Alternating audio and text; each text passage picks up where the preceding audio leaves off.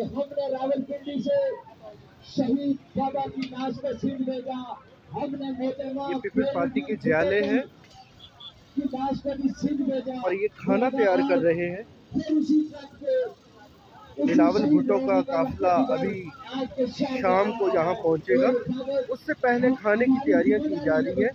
ये रावलपिंडी फैजाबाद से पहले के मनाजिर हैं। ये आप देख लीजिए। उस्ताद जी, ये कितनी देर तैयार कर रहे हैं? दो तीन सौ देगे इसमें कौन कौन सी डिशें शामिल है? गोश्त है छोटा और मटर है। छोटा गोश्त मटन भी बना रहे हैं। कितनी छोटे गोश्त की बीच में डाला है। जी ये बता रहे हैं कि मटन से तवाज़ो की जाएगी। बिलावल भुट्टो जरदारी का जो काफिला पिंडी इस्लामाबाद में आज पहुँचना है तो मटन कौरमे से उनकी तवाज़ो की जाएगी। ये कहा जा रहा है कि 200 देगे हैं। ये देखिए। ये एक सिलसिला है देगों का, जो ना ख़त्म होने वाला सिलसिला है। ये 200 देगे हैं। एक भाई बैठे हुए हैं, शायद इंतज़ामिया वाले, इनसे भी मालूम करने की कोशिश करते हैं। सलामकुम सर। सर, ये कितनी देगे तैयार की जा रही है?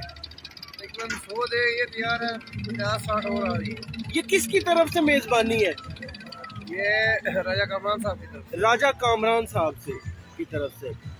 राजा कामरान साहब क्या पीपल पार्टी के एम एन ए सदर है सदर है? पिंडी सदर है। के सदर है। जी राजा कामरान साहब पिंडी में पीपल पार्टी के सदर हैं। उनकी तरफ़ से ये खाने का एहतमाम किया जा रहा है। देगे चढ़ रही है। ये देख सकते हैं आप काम हो रहा है।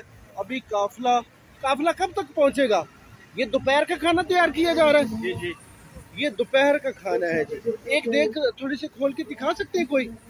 कोई? कोई कोई दिखा दे कोई। ये देखिए जी इसके अंदर क्या है? कीमा डाला हुआ ये कीमे की देग है जी ये कीमे की देग है। ये पुलाव दिखाना पुलाव दिखाना प्लीज़ ये देखिए जी, ये ये ये पुलाव है पुलाव है, इससे तवाज़ु की जाएगी और वफद कह- कहते कहा जा रहा है कि ये दोपहर का खाना है।